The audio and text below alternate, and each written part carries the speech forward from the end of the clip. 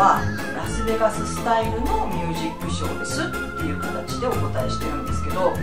あのでラスベガススタイルのミュージックショーって何ですかって言われた時に一回楽屋に来込むと同じ衣装で出てこないっていうところでもう次から次へとたくさんこう華やかな衣装だったり華やかな世界が見れるあともう一つはあれですね。あのいろいろなこうスタンダードな曲だったりとか一度は耳にしたことがあるっていうものをなるべくしててしかもそれを日本語で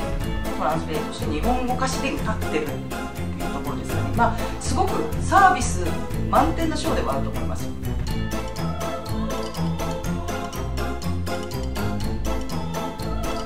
うちのショーはあのいろんなジャンルの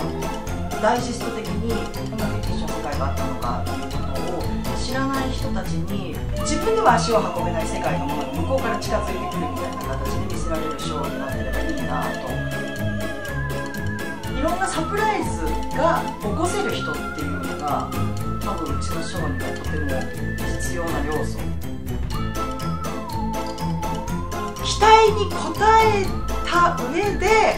一つ二つ裏切れたらいいなとい裏切りもあのあんまり木をてらったものではなくて